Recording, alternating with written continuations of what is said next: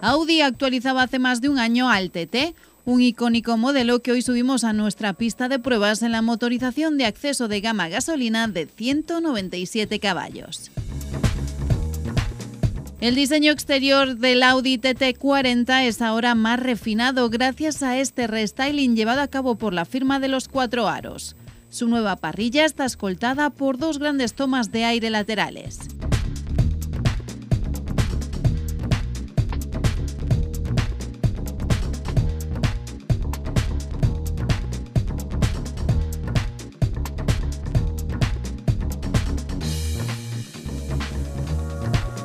En la parte trasera, las nuevas líneas que dibujan la zaga acentúan la anchura del compacto deportivo.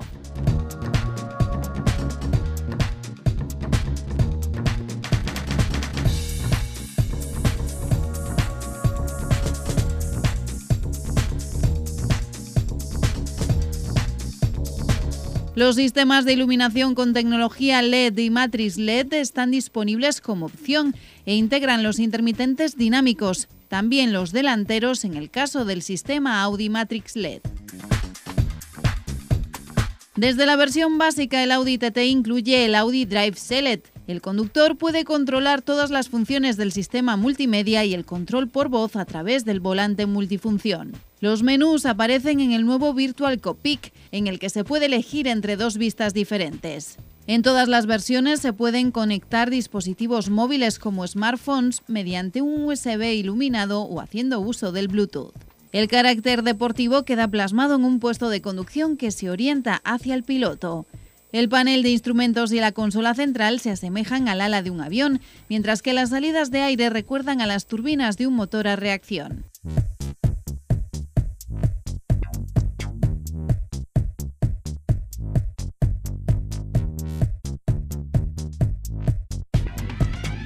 Nuestro equipo de pruebas se pone a los mandos de la versión de acceso a la gama gasolina, el 40 TFSI, con tracción delantera y cambio automático S-Tronic de 7 marchas.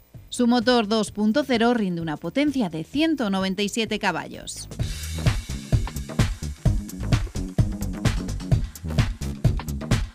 Estamos ante un motor gasolina de nuevo desarrollo más potente que sus predecesores. Es de inyección directa y está equipado con un filtro de partículas de gasolina. Con la nueva caja de cambios automática S-Tronic de 7 velocidades, las marchas más bajas tienen ahora una relación más corta, ofreciendo así una mejor aceleración. Las marchas más largas permiten reducir la velocidad de giro del motor. El TT40 TFSI S-Tronic acelera de 0 a 100 en 6,6 segundos. El nuevo Audi TT ofrece un comportamiento más dinámico y preciso. Con el paquete deportivo S-Line o la suspensión Audi Magnetic Ride, la carrocería rebaja su altura en 10 milímetros. Otros elementos que tienen que ver con esta mejora del dinamismo son el eje trasero de cuatro brazos, la dirección progresiva y el control de estabilidad ESC.